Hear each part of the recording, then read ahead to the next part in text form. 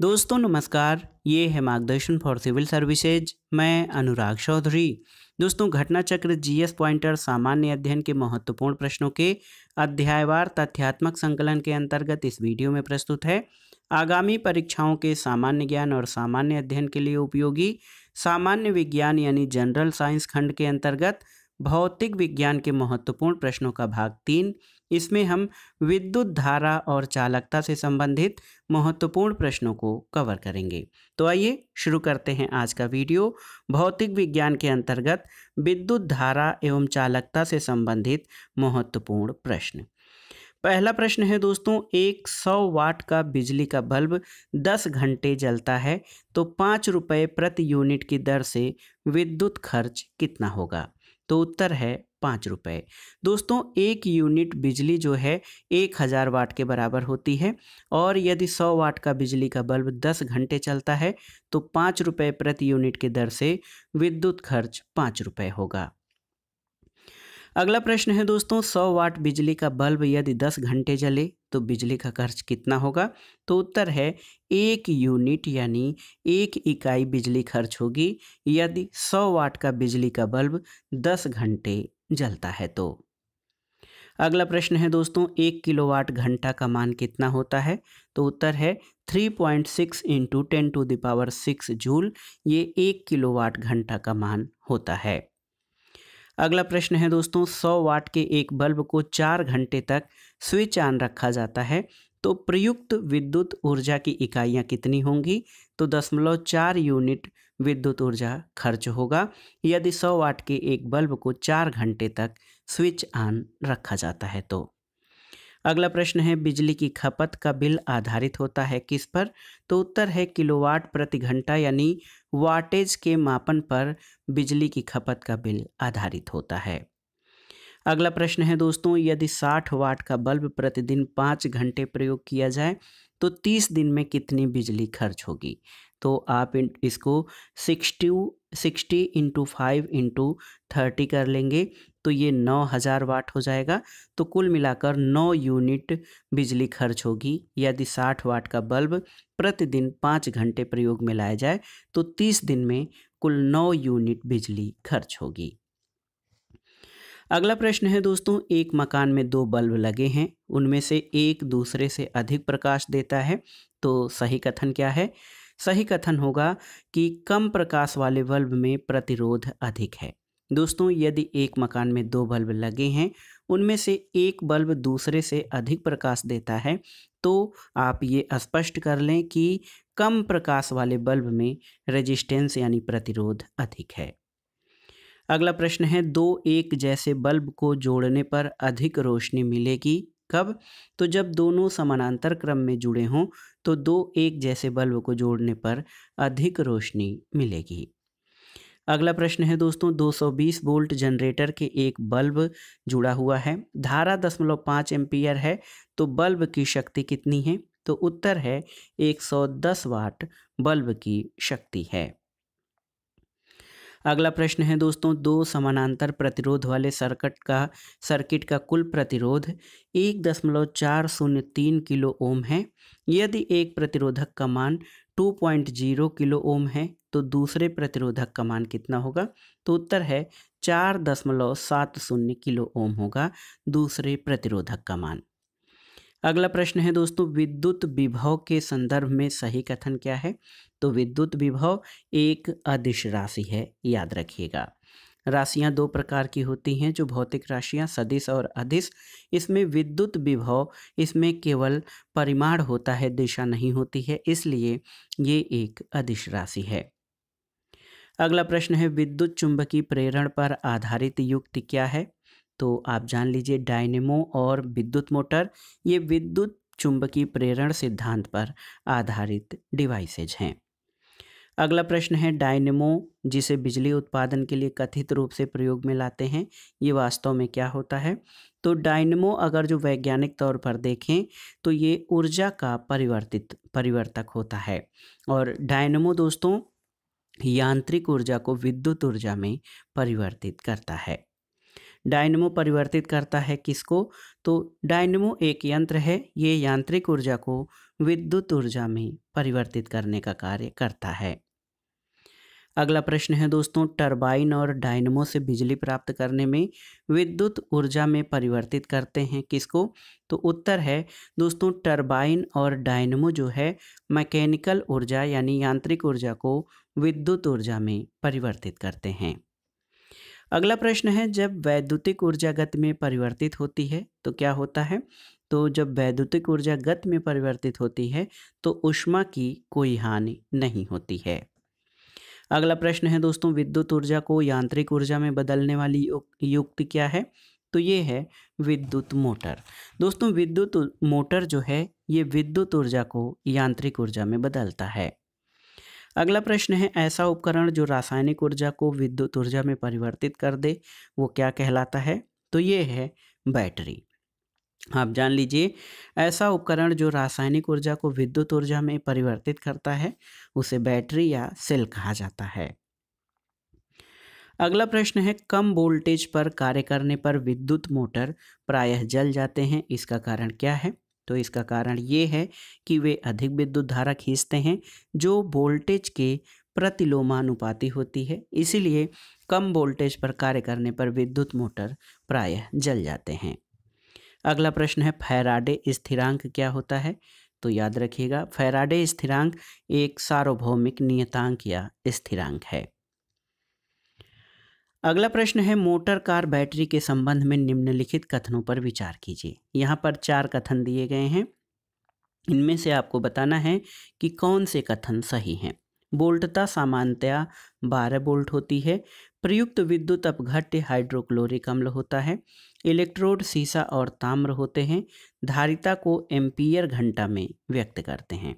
तो दोस्तों, motor car की बैटरी के संबंध में इसमें से कथन एक और चार आपके सही हैं कि बोल्टता सामान्यतया बारह बोल्ट होती है और धारिता को एम्पियर घंटा में व्यक्त किया जाता है।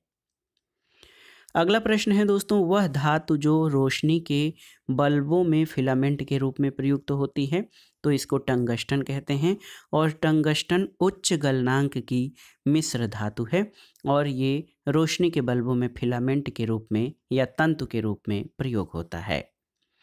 अगला प्रश्न है एन आई सी डी यानी निकिल कैडमियम बैटरी का प्रयोग होता है किसमें? तो उत्तर है, कैलकुलेटर, ट्रांजिस्टर और कार्डलेस इलेक्ट्रॉनिक उपकरण में निकिल कैडमियम बैटरी का प्रयोग होता है। अगला प्रश्न है, बिजली के बल्ब का तंतु बना होता है किसका? तो ये टंगस्टन का बना होता है। और अगला प्रश्न है, निम्नलिखित कथनों पर विचार कीजिए। एक साधारण बिजली के बल्ब का अपेक्षाकृत अल्प जीवन होता है, क्यों? तो इसका कारण क्या है, देखिए। फिलामेंट का तार एक समान नहीं होता। बल्ब पूर्ण रूप से निर्वातित नहीं किया जा सकता। और फिलामेंट के सहायक तार उच्च ताप पर पिघल जाते हैं। तो इन कथनों में सही कथन क्या है कि एक साधारण बिजली के बल्ब का अपेक्षाकृत अल्प जीवन होता है, क्योंकि इस संबंध में ये तीनों ही कथन आपके सही हैं। अगला प्रश्न है दोस्तों, जलते हुए विद्युत बल्ब के तंतु का ताप सामान्यतः कितना होता है? तो ये 2000 डिग्री सेल्सियस से 2500 डिग्री सेल्सियस होता है, एक जलते हुए विद्युत बल्ब के फिलामेंट का अगला प्रश्न दोस्तों, कथन और कारण से संबंधित है। कथन है, तड़ित चालक इमारतों को नष्ट होने से बचाते हैं। कारण है, ये आवेश को पृथ्वी तक भेज देते हैं। तो याद रखिएगा, तड़ित चालक या जो मकानों को सुरक्षा के लिए तड़ित चालक यंत्र लगाए जाते हैं, ये इमारतों को नष्ट होने से बचाते हैं, क्योंकि ये अतिरिक्त आवेश को पृथ्वी तक भेज देते हैं।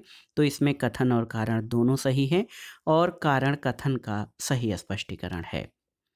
अगला प्रश्न है, तीन पिन बिजली के प्लग में सबसे लंबी पिन को किससे जोड़ना चाहिए? तो उत्तर है, आधार यानी अर्थ सिरे से जोड़ना चाहिए थ्री पिन बिजली के प्लग में सबसे लंबी पिन को। अगला प्रश्न है दोस्तों, विद्युत उपकरणों में अर्थ का उपयोग क्या होता है? तो विद्युत उपकरणों में अर्थ का उपयोग सुरक्षा के लिए किया जाता है। अगला प्रश्न है, आपस में जुड़ी दो आवेशित वस्तुओं के बीच विद्युत धारा नहीं प्रभावित होती है, यदि वे हो समान विभव पर तो याद रखिएगा। आपस में जुड़ी दो आवेशित वस्तुओं के बीच विद्युत धारा प्रवाहित नहीं होगी, यदि वे समान विभव पर हों तो। अगला प्रश्न है दोस्तों, सर्वाधिक विद्युत चालकता वाला तत्व कौन सा है? तो ये है चांदी। चांदी की विद्युत चालकता सर्वाधिक है। अगला प्रश्न है दोस्तों, माइका, तांबा, स्वर्ण और चांदी में से विद्युत का सर्वोत्तम चालक कौन सा है? तो चांदी दोस्तों, विद्युत का सर्वोत्तम चालक है। अगला प्रश्न है, मेंज विद्युत प्रदाय में फ्यूज का प्रयोग एक सुरक्षा युक्त के रूप में होता है मेंस में, और फ्यूज के विषय में सही कथन क्या है? तो फ्यूज दोस्तों, इसका गलनांक जो है, निम्न होना आवश्यक है, और विद्युत फ्यूज, ये विद्युत धारा के उष्मीय प्रभाव पर काम करता है। अगला प्रश्न है, फ्यूज का सिद्धांत क्या है? तो विद्युत का उष्मीय प्रभाव और फ्यूज के रूप में कम गलनांक वाले तारों का प्रयोग किया जाता है कि यदि जब विद्युत परिपथ में अधिक धारा प्रवाहित हो और विद्युत फ्यूज से होकर ये धारा प्रवाहित होती है तो वो गल कर टूट जाते हैं, जिससे बिजली के उपकरण सुरक्षित रहते हैं और जलने से बच जाते हैं अधिक विद्युत धारा के प्रवाह पर। अगला प्रश्न है, फ्यूज में प्रयुक्त होने वाले तार की विशेषता क्या होती है? तो ये उच्च प्रतिरोधक शक्ति और निम्न गलनांक या कम गलनांक के तार होते हैं। अगला प्रश्न है, घर में सुरक्षित विद्युत सप्लाई के लिए उपयोग में लाने वाली फ्यूज तार जिस धातु की बनी होती है उसकी विशेषता क्या है? तो उसका गलनांक कम होता है और प्रतिरोधकता अधिक होती है। अगला प्रश्न है दोस्तों हैलोजन लैंप का तंतु होता है किसका? तो टंगस्टन और सोडियम की मिश्र धातु का बना होता है हैलोजन लैंप का तंतु। अगला प्रश्न कथन कारण से संबंधित है। कथन है, एक धातु तार का तापक्रम बढ़ जाता है जब उसके बीच से विद्युत धारा प्रवाहित होती है। कारण है कि धातु अणुओं के पारस्परिक संगठन से उष्मा ऊर्जा का मोचन होता है। तो यहाँ पर देखिए, कथन तो सही है लेकिन कारण गलत है। तो ए सही, परंतु आर गलत है। अगला प्रश्न है घरेलू विद्युत तार स्थापन मूलतः किस क्रम में संयोजित किया जाता है? तो याद रखिएगा, ये समानांतर क्रम में संबंधित किया जाता है, घरेलू विद्युत तार। अगला प्रश्न है दोस्तों, घरेलू विद्युत सप्लाई के दौरान काले रंग का आवरण युक्त तार कौन सा होता है? तो घरेलू विद्युत सप्लाई में काले रंग का आवरण युक्त तार, ये न्यूट्रल यानी उदासीन तार होता है। अगला प्रश्न, मानव शरीर शुष्क के विद्युत प्रतिरोध के परिमाण की कोट कितनी होती है? तो ये ten to the power four ohm होती है, मानव शरीर के विद्युत प्रतिरोध के परिमाण की कोटि। अगला प्रश्न है, सामान्य ट्यूबलाइट में होती है तो आर्गन के साथ मरकरी वाष्प या मरकरी वेपर सामान्य ट्यूबलाइट में भरी होती है। अगला प्रश्न है दोस्तों, हमारे घरों में सी एफ़ एल बल्ब प्रयोग होता है। सी एफ़ एल का पूर्ण रूप क्या है? तो ये है कॉम्पैक्ट फ्लोरोसेंट लैम्प याद रखिएगा सी एफ़ एल का पूर्ण रूप कॉम्पैक्ट फ्लोरोसेंट लैम्प है। अगला प्रश्न कथन और कारण से संबंधित है। कथन है, लाइट एमिटिंग डायोड यानी LED lamp, compact fluorescent lamp की तुलना में अधिक लंबी सेवा अवधि प्रदान करते हैं। कारण है कि LED lamp, compact fluorescent lamp की तुलना में अधिक ऊर्जा दक्ष होते हैं।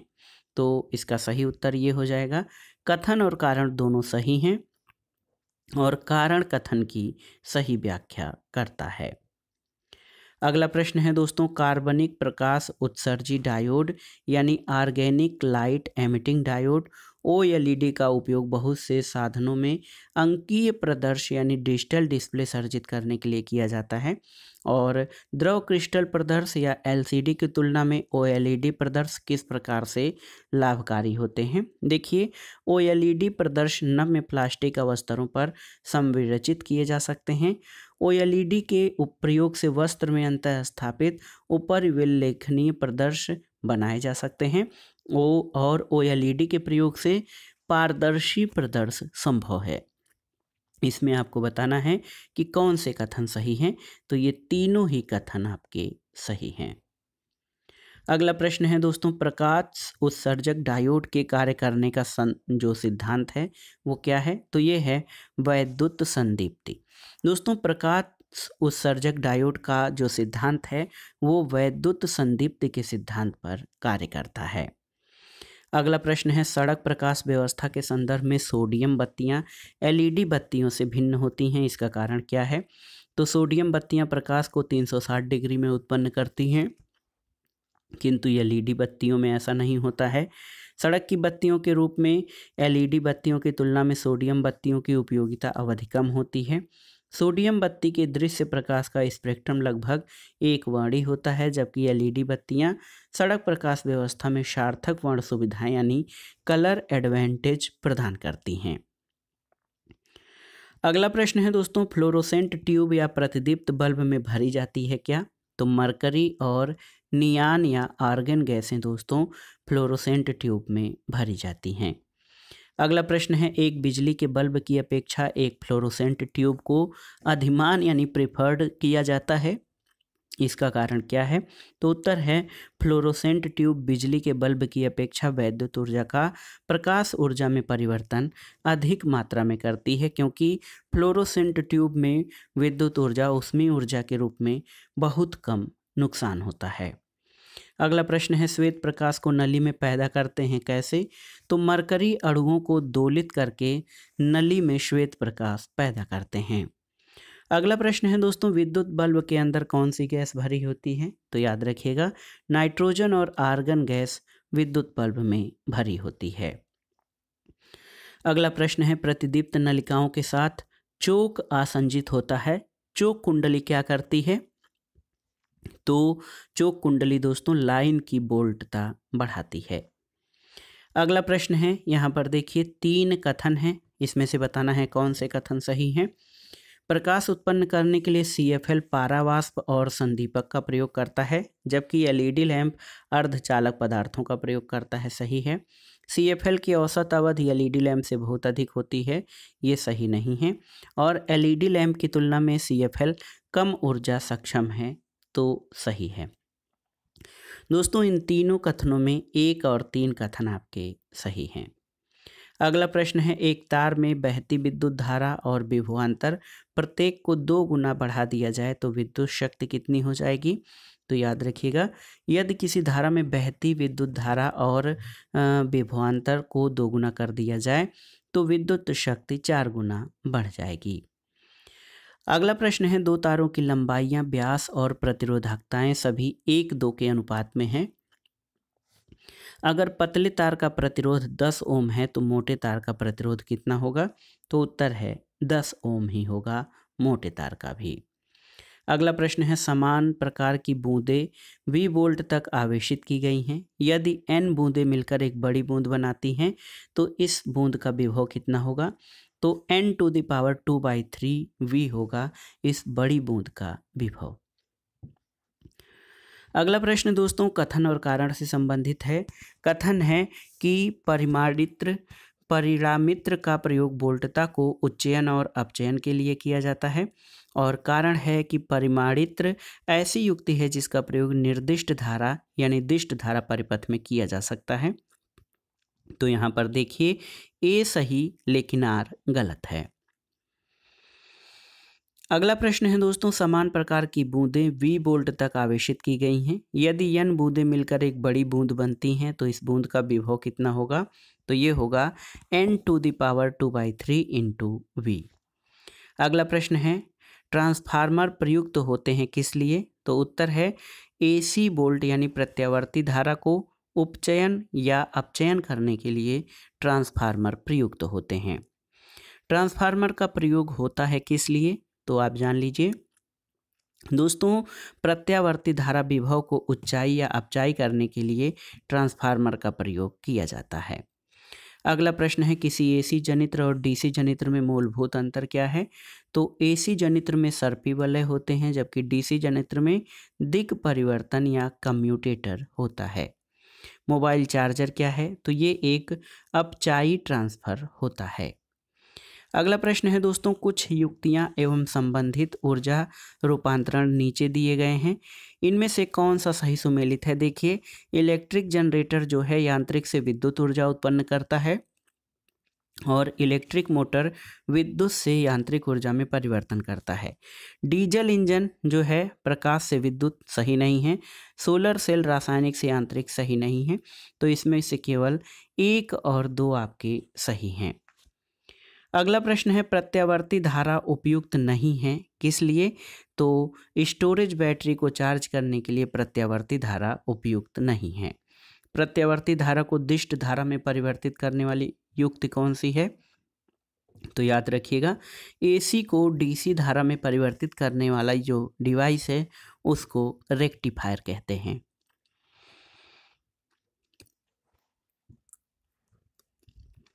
अगला प्रश्न दोस्तों, कथन और कारण से संबंधित है। कथन है, भारत में विद्युत वितरण कंपनियाँ विद्युत खपत की गणना किलोवाट घंटे में करती हैं।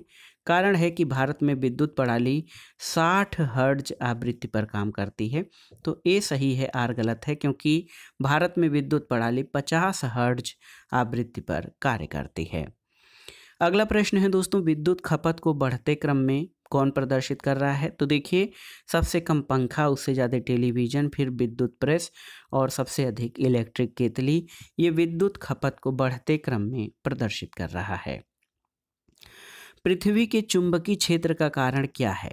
तो दोस्तों भू क्रोड के अंदर की चक्रक धाराएँ ये पृथ्वी के चुंबकीय क्षेत्र का कारण है। विद्युत धारा के बाद आइए चालकता अध्याय से संबंधित महत्वपूर्ण प्रश्नों को देख लेते हैं। देखिए अतिचालक का लक्षण क्या है? तो शून्य पारगम्यता। दोस्तों, शून्य पारगम्यता अतिचालक का लक्षण है। अगला प्रश्न है, वह तापमान जिस पर अतिचालकता अत्यधिक आर्थिक महत्व की हो सकती है, जिससे लाखों रुपए की बचत हो तो ये सामान्य तापमान। दोस्तों, सामान्य तापमान पर अतिचालकता आर्थिक महत्व की हो सकती है और लाखों रुपए की बचत हो सकती है, यदि ये सामान्य तापमान पर संभव हो पाए तो। अगला प्रश्न है, दोस्तों, किसी अतिचालक द्वारा प्राप्त अधिकतम तापमान क्या है? तो ये है लगभग दो सौ अट्ठासी केल्विन या पंद्रह डिग्री सेंटीग्रेड। ये वर्ष 2020 में निर्मित है। अगला प्रश्न है, नव आविष्कृत उच्च ताप अतिचालक क्या है? तो ये है सिरेमिक ऑक्साइड। अगला प्रश्न है दोस्तों, अर्धचालक की चालकता यानी शून्य डिग्री केल्विन ताप पर कितनी होती है? तो किसी अर्धचालक की चालकता शून्य डिग्री केल्विन ताप पर शून्य होती है। अगला प्रश्न है, एक अर्धचालक या सेमीकंडक्टर में विद्युत चालन होता है किससे? तो इलेक्ट्रॉन्स और होल्स दोनों के द्वारा। अगला प्रश्न, किसी अर्धचालक का प्रति, प्रतिरोध गर्म करने पर क्या होता है? तो दोस्तों, किसी अर्धचालक का प्रतिरोध गर्म करने पर घटता है, याद रखिएगा। अगला प्रश्न है, निकट अतीत में हिक्स बोसान कण के अस्तित्व के संसूचन के लिए किए गए प्रयत्न लगातार समाचारों में रहे हैं। इस खोज के या इस कण की खोज का महत्व क्या है? तो उत्तर है, ये हमें ये समझने में मदद करेगा कि मूल कणों में संहति क्यों होती है। अगला प्रश्न है, परम शून्य तापमान पर अर्धचालकों में विद्युत प्रतिरोध हो जाता है कितना? तो उत्तर है, संपूर्ण यानी अनंत। दोस्तों ज़ीरो डिग्री केल्विन या ज़ीरो केल्विन जो होता है, परम शून्य ताप, इस पर अर्धचालकों में विद्युत प्रतिरोध शून्य हो जाता है, अनंत हो जाता है। अगला प्रश्न है, तांबा, जर्मेनियम ग्रेफाइड और चांदी से अर्धचालक की तरह ट्रांजिस्टर में प्रयोग होती है क्या? तो दोस्तों, अर्धचालक की तरह ट्रांजिस्टर में जर्मेनियम का प्रयोग किया जाता है। अगला प्रश्न है, आर्सेनिक, जर्मेनियम, ऑस्मियम और रेडियम में से ट्रांजिस्टर का एक महत्वपूर्ण भाग क्या है? तो ये है जर्मेनियम, जो कि एक महत्वपूर्ण अर्धचालक है। ट्रांजिस्टर बनाने के लिए सर्वाधिक प्रयुक्त पदार्थ कौन सा है? तो ये सिलिकॉन है। और देखिए, कथन और कारण से संबंधित है अगला प्रश्न। कथन है, तड़ित चालकों को बनाने में लोहे की छड़ों की अपेक्षा तांबे की छड़ों को वरीयता दी जाती है। इसका कारण है कि लोहे की तुलना में तांबा विद्युत का अधिक सुचालक है और वायुमंडलीय परिस्थितियों में सरलता से ऑक्सीकृत नहीं होता है। तो इसमें ए और आर दोनों सही हैं और आर ए की सही व्याख्या करता है। अगला प्रश्न है दोस्तों, तड़ित यानी बिजली चमकना से वृक्ष में आग भी लग सकती है। इसका कारण क्या है? क्योंकि इसमें अत्यधिक मात्रा में होती है क्या? विद्युत ऊर्जा। दोस्तों, तड़ित या बिजली चमकने से वृक्ष में आग भी लग सकती है क्योंकि इसमें अधिक मात्रा में विद्युत ऊर्जा होती है। अर्धचालक कौन है? तो सिलिकॉन और जर्मेनियम। दोस्तों, ये अर्धचालकों के उदाहरण है। अगला प्रश्न है, भारत सरकार ने झामा के निर्यात पर पूर्ण प्रतिबंध लगा दिया है, क्योंकि उसमें ऐसी धातु या ऐसा तत्व निकल सकते हैं, जिसका प्रयोग ट्रांजिस्टरों में होता है। वो तत्व कौन सा है? तो वो जर्मेनियम है। अगला प्रश्न है, एल्यूमिनियम, सिलिकॉन, चांदी और सीसा में से वह तत्व जो अर्धचालक है तो उत्तर है सिलिकॉन। दोस्तों, सिलिकॉन महत्वपूर्ण अर्धचालक है। तो आप जान लीजिए दोस्तों, ये था आज का वीडियो। घटना चक्र जीएस पॉइंटर, महत्वपूर्ण प्रश्नों के अध्यायवार, तथ्यात्मक संकलन के अंतर्गत, भौतिक विज्ञान के महत्वपूर्ण प्रश्नों का भाग तीन। इसमें हम विद्युत धारा और चालकता से संबंधित महत्वपूर्ण प्रश्नों को पढ़ा आपने, जो आपके आगामी परीक्षाओं के लिए, तैयारी की दृष्टि से और रिवीजन के लिए बहुत ही उपयोगी हैं। आप इनको तैयार कर लीजिएगा। वीडियो आपको कैसा लगा, हमें कमेंट बॉक्स में ज़रूर बताइएगा। वीडियो को लाइक करें, शेयर करें और इस channel Margdarshan for civil services को सब्सक्राइब करें। वीडियो देखने के लिए धन्यवाद दोस्तों। नमस्कार।